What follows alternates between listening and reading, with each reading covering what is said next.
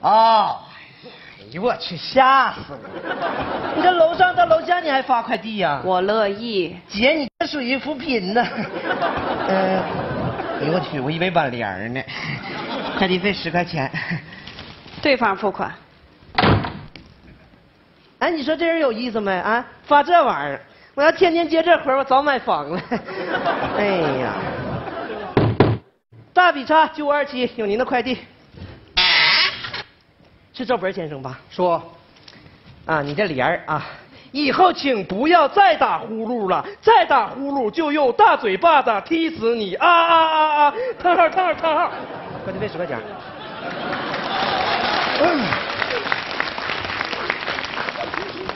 谁送的？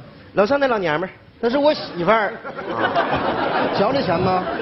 呀，传我的旨意啊你告诉他，我就打呼噜他，爱听不听，不听滚。这戒指给他，连带这个，切一块打包给我送过去，货到付款。什么情况？什么家庭？不送。不行啊，这玩意儿挺贵的，六贵福的，我得送啊。记着点啊，二十了。姐，谁呀、劈叉公公。我们皇上说了，切，爱听不听，不听滚。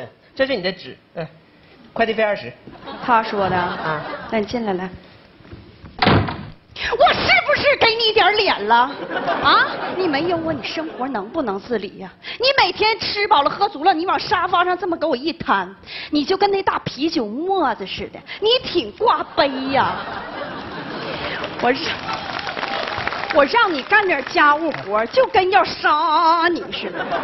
咱俩结婚十年，你挑战了我十年，我哪次说话你听过？我哪次说话你信过？我哪次说话你走过信？